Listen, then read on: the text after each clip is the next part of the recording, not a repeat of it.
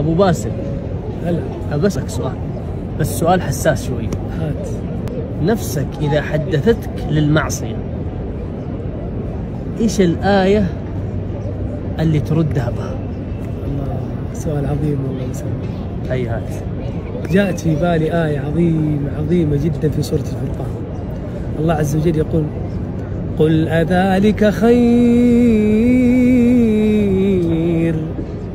قل أذلك خير أم جنة الخلد التي وعد المتقون؟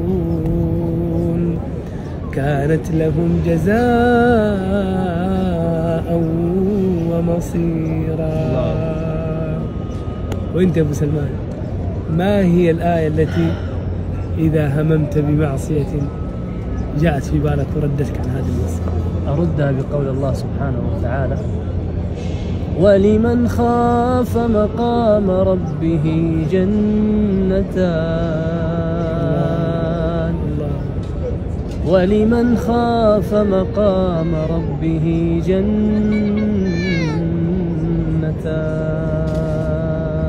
الله يجعلنا من الله يحسبنا من المعاصي آمين يا رب. يعني العلاج كله في القرآن. يا رب. الله يجعلنا من أهل القرآن. اللهم آمين.